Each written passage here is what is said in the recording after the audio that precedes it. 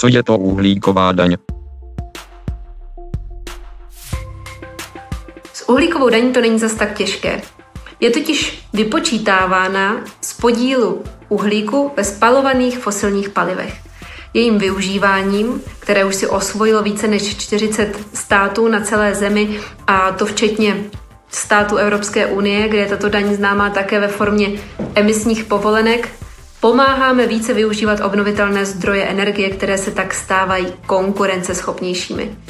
Jednak to není těžké a druhá je to něco, co pomáhá přírodě.